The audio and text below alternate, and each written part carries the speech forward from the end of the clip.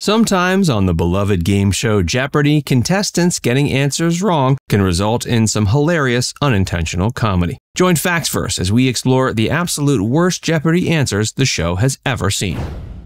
A contestant mistakes a love triangle for a threesome. In one memorable episode of Jeopardy, a contestant was given the relatively simple clue of if Andy yearns for Brenda and Brenda cares about Charlene, who pines for Andy, the three of them form one of these. The majority of people know the answer should have gone something like, What is a love triangle? Instead, the answer the contestant gave was, What is a threesome? Of course, many in the audience figured the contestant was just being cheeky, but the apparent shame in the contestant's eyes after making the Freudian slip suggested it was truly an accident. It seems there are some Jeopardy contestants that need to brush up on their interpersonal skills. Was there a hymn in the Bible named Kinky Boots?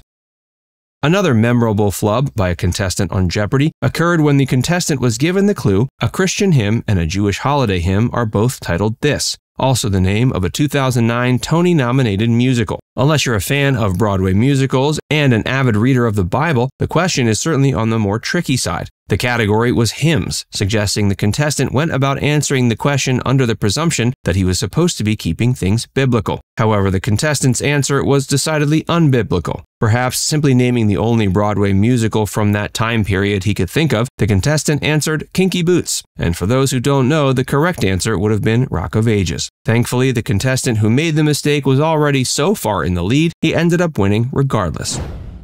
Famous Jeopardy personality Ken Jennings accidentally gets misogynistic.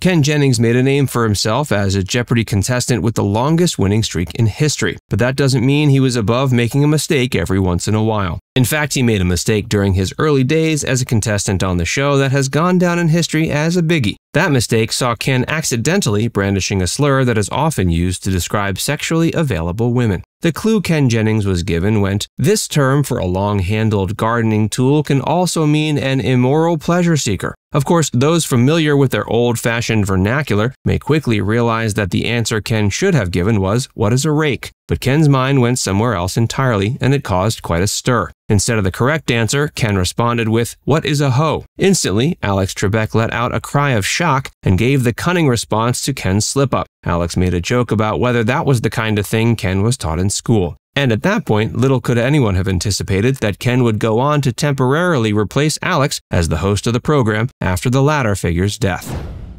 One Jeopardy contestant wasn't all that fond of liberals.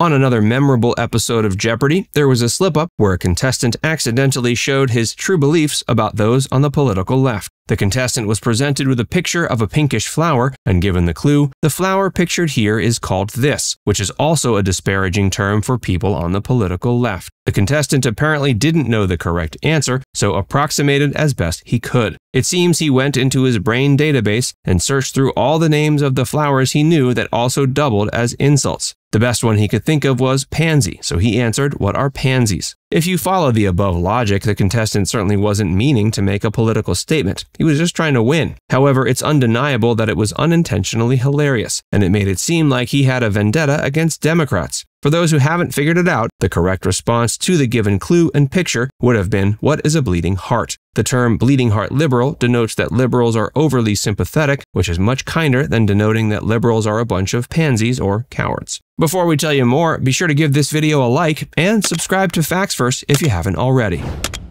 A contestant unintentionally shows their love for the late Latina pop idol Selena. Another memorable Jeopardy flub came when a contestant was asked to define what the term selenophobia meant. The word isn't all that common, and it's hard to divine its etymology from simply looking at it. The contestant certainly seems not to have been familiar with the word, so they went about trying to break down its etymology as best they could. Of course, the two main parts of the word are seleno and phobia, with phobia obviously denoting a fear of something. One can easily infer that the term selenophobia might mean the fear of something or someone called Seleno, and Seleno sounds like a bit like Selena. For most people, the first person who comes to mind when they hear the name Selena is the late Mexican pop sensation. With no better answer to give, the contestant then gave the answer of what is the fear of Mexican music stars. Sadly, that answer was not correct, and should have been instead what is an irrational fear of the moon. It was an undeniably fun moment, especially for those in the audience who were fans of Mexican pop. A contestant makes a joke about the Pope.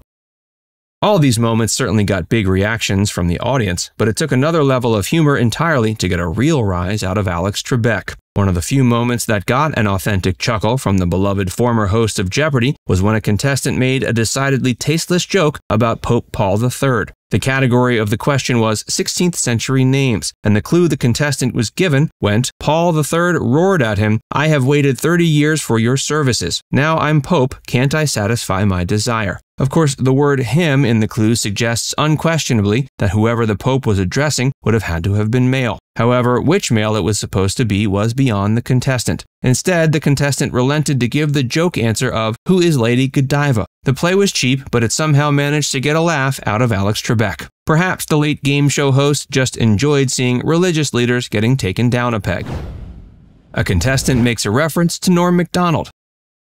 Those who are fans of the late Norm Macdonald and his time on SNL will certainly get a kick out of this next memorable moment from Jeopardy! In one episode, a contestant was given the clue of this song from a 1999 animated film about censorship had a word censored from its Oscar performance. Younger audience members may have a much easier time answering the question, but the Jeopardy contestant apparently couldn't do it for the life of her. Instead, she took the opportunity to make a reference to one of her favorite gags from Saturday Night Live. Having no idea what the real answer was, the contestant wrote down, What is the love ballad of Turd Ferguson? For those who don't know, this was a reference to the popular Celebrity Jeopardy sketches on SNL. These sketches featured beloved cast member Norm Macdonald doing one of his best impressions, Burt Reynolds. This moment is made all the more poignant in the wake of Norm's passing, though there was another memorable Jeopardy flub where an entirely different deceased SNL star was mentioned.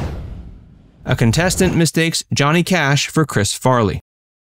Chris Farley certainly wasn't a music legend, but that was the category this next clue came in, and the contestant at hand couldn't think of any better answer. The clue went, his 2003 People magazine obituary was headlined Fade to Black. It's certainly true that Chris Farley is a deceased celebrity, though that fact had to have been just about the only rational thing going through the contestant's head when they said, Who is Chris Farley? The answer should have been, Who is Johnny Cash? A contestant gets cocky.